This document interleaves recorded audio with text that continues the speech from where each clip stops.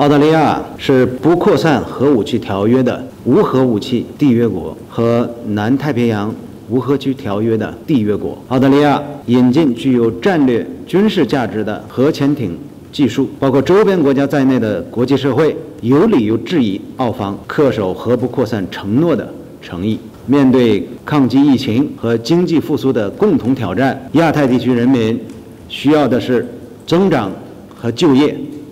而不是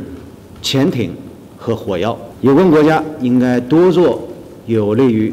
地区和平与发展的事。